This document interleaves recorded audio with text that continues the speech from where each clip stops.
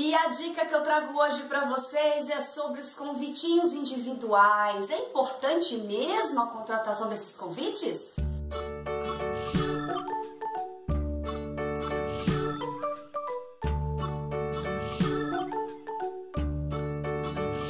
Olha, gente, é, muita gente acha, e até hoje, que aqueles convitinhos individuais, eles são eficientes de recepcionar os convidados na festa. Na verdade, não, porque as pessoas não levam esses convitinhos. E os convidados não levam porque esquecem e coisa e tal. E pensam, bom, meu nome tá na lista, não preciso do convite. Mas, na verdade, gente, a grande missão, a grande função desses convitinhos é na hora de você convidar uma pessoa. Eu entrevistei a Thalita Romancini, que ela, é, ela faz os convites aqui em São José e ela disse isso de uma forma muito clara e eu vou repetir agora para vocês. Quando você vai convidar uma, uma pessoa, uma família, então o convitinho é importante para que limite o número de convidados lá na, no próprio convite. Então, por exemplo, se você manda um cartão e coloca assim, Tatiana e Rafael e família, eu que sou sem noção, eu posso entender, bom, então é família, vai minha cunhada, minha irmã, minha mãe, né? Agora, se chega o convite, Rafael é, e Tatiana, e lá dentro chegam dois convitinhos individuais, eu já entendo, bom, então é para mim e pro Rafael, nem os meus filhos foram convidados.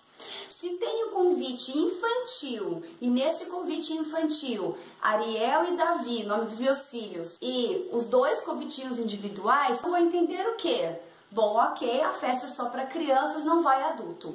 É isso. Então, o convite individual é para você limitar, porque sempre tem aquela pessoa que leva a irmã da prima e coisa e tal. Poucas pessoas vão ligar para você e vão falar: é, ah, eu posso levar fulano que tá aqui em casa, coisa e tal. Não vai. Então, às vezes, quando acontece, dificilmente acontece de passar o número de convidados, mas ele passa quando você não soube na hora de convidar estipular muito bem quem está sendo convidado. Esse é o ponto. Para você fazer lista de é, confirmados e mesa reservada, aí eu vou falar sobre um outro assunto, mas que não está ligado nos convitinhos, tá? Os convitinhos é, é única exclusivamente para este tipo de, de atitude que é na hora de convidar, tá bom? Então até a próxima dica.